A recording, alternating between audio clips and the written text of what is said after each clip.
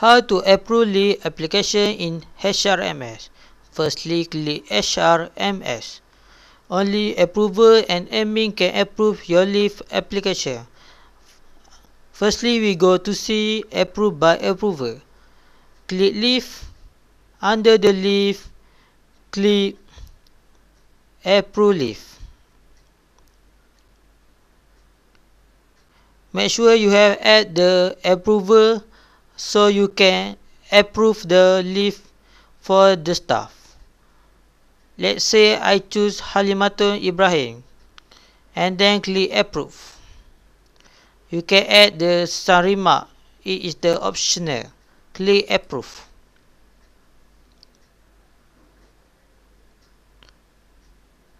Now you can see the staff name Halimatun Ibrahim. The leave status approve. Now let's see how to approve leave by admin. Click leave view list.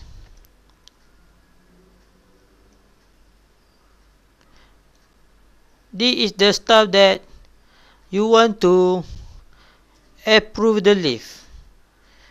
Let's say I choose Shari and then click approve in the below. Now you can see the staff name Shari for the leave application have been approved. Thank you.